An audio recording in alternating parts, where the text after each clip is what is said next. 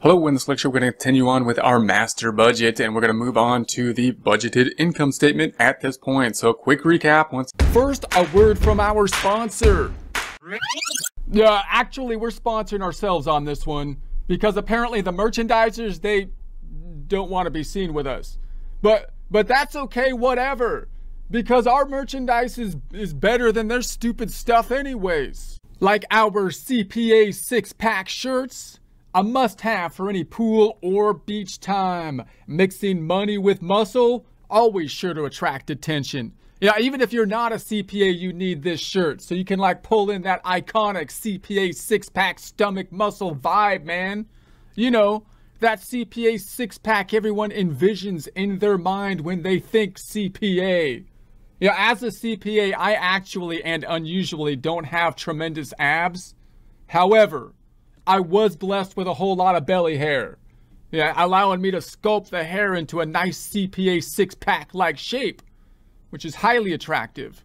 Yeah, may, maybe the shirt will help you generate some belly hair too. And if it does, make sure to let me know. Maybe I'll try wearing it on my head. And, and yes, I know six pack isn't spelled right, but three letters is more efficient than four, so I trimmed it down a bit, okay? It's an improvement. If you would like a commercial-free experience, consider subscribing to our website at accountinginstruction.com or accountinginstruction.thinkific.com. Again, we're going to go through the whole thing here. Just This does have to be done in order. If we break it down into its pieces, it's not too bad, but we do have to start off with a sales budget, then a production budget, raw materials budget, direct labor budget, factory overhead budget, selling expense budget, general administrative budget, and then we had some cash worksheets to help us out with the cash budget.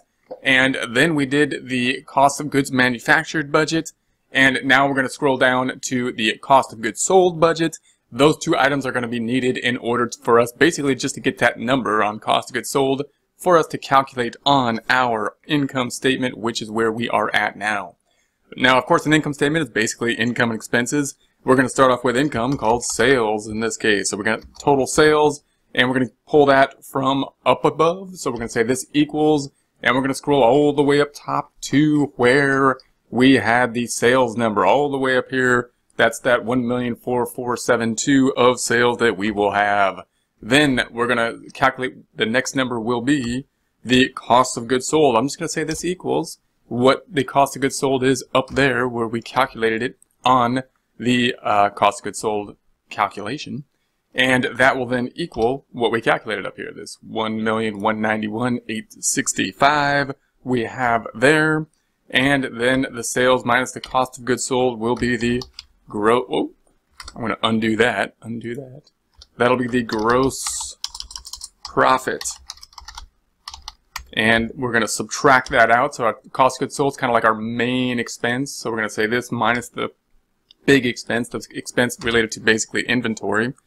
And then we then are going to scroll down to the next set of items. Those items are going to be operating uh, expenses, expenses, colon, and we're going to start off with sales commission.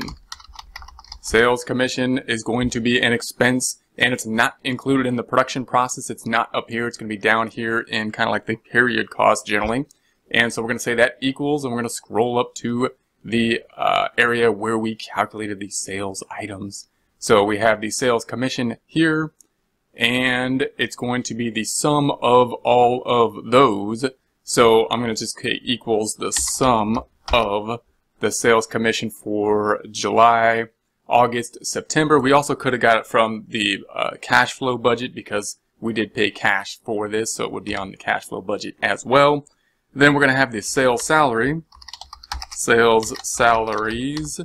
And we're going to say the same thing. We're going to say this equals. And once again, we could take it from, from the sales budget as well, but I'm going to go back up here to our, our uh, I mean, we could take it from the cash flow budget as well, but I'm going to go up to this area again to the sales budget and say it equals the sum of the July, August, and September information. So we're talking about the quarter here. So we're going to say enter and then we have the general and admin, general administrative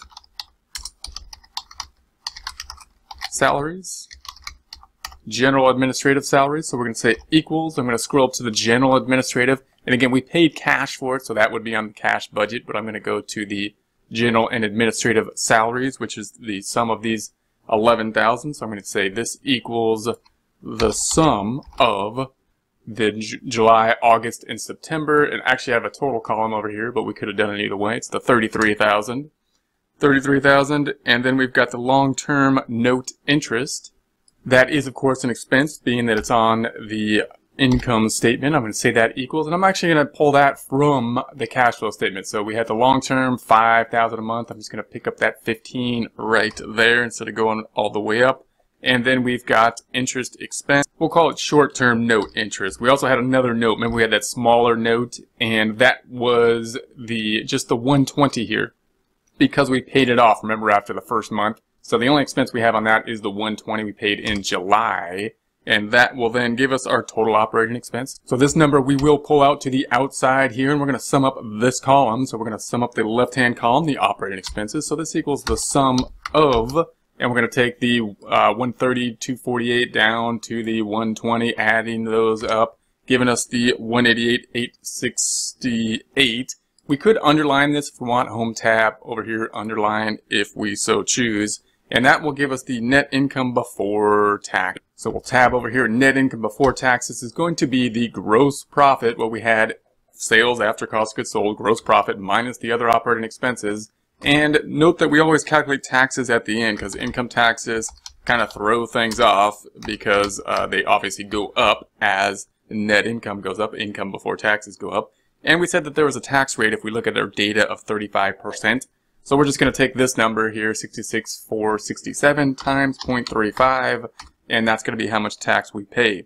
Now notice that 35% is a flat tax. It's a simplified type of tax. We often have to do that in real life. There's a progressive tax, which is much more complicated to uh, do a budget on.